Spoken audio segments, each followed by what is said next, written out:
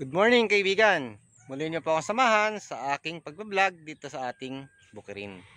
So ngayong umaga po ito mga kaibigan, tayo po uh, magbobomba ng isang herbicide para po dito sa ating ah, mga pinitak at mapatay po natin ang ating mga iba't ibang klaseng damo dito sa ating bukirin. Tara kaibigan, samahan niyo po kami.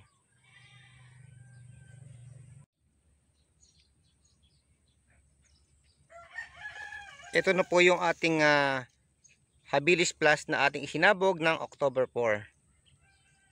Ganyan na po siya kalaki or kaganda ang ating hybrid. So ito naman po yung ating uh, pupuksain kaibigan.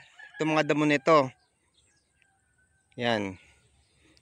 Pupuksain po natin yan ng ating uh, isang uri ng uh, chemical na herbicide. Yung mga damo po niya, iba-ibang klase po siyang damo.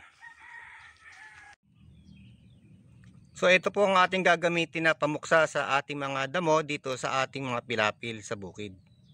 Rainfire 480 SL. 1 gallon po siya. Gawa po siya ng Agribesta Industrial.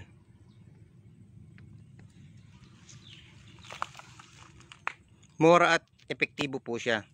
So dito po natin siya i-apply para mapatay natin ang mga ibang uri ng ating mga damo dito sa bukirin.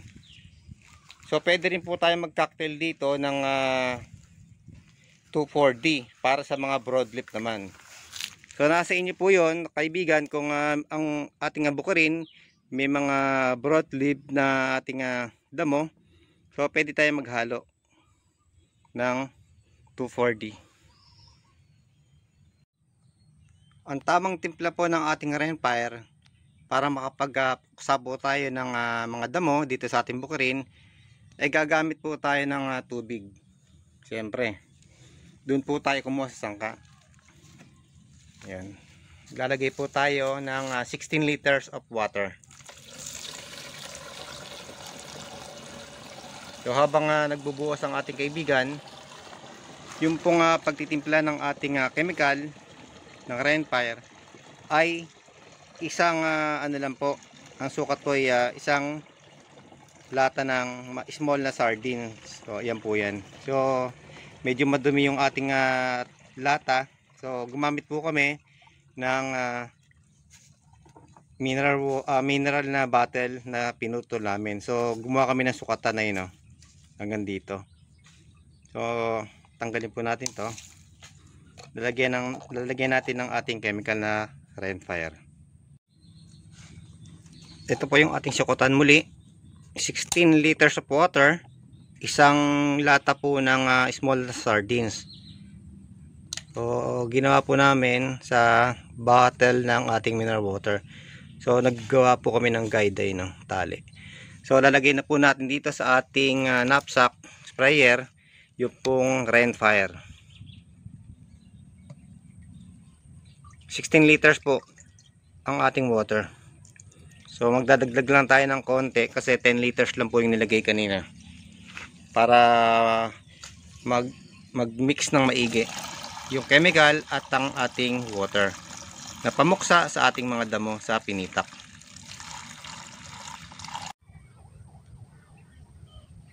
Tara kaibigan, umpisa na natin ang ating uh, pagbubomba dito sa ating pinitak Tuksain natin ang mga damo. Tara!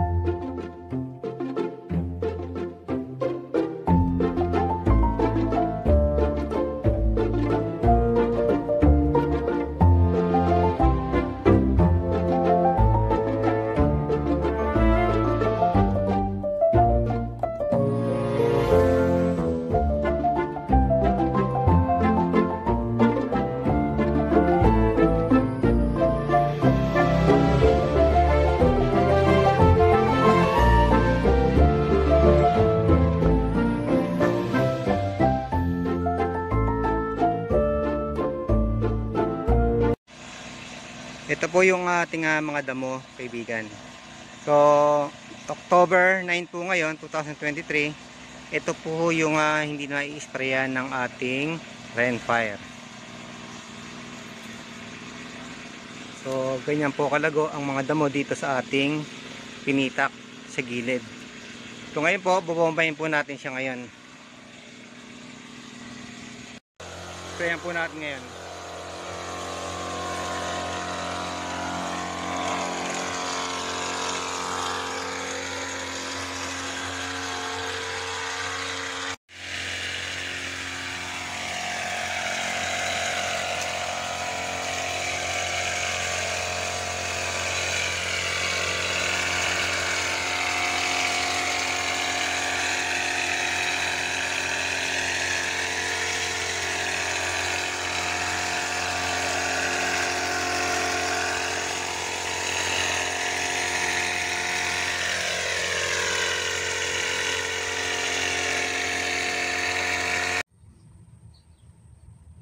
Rainfire.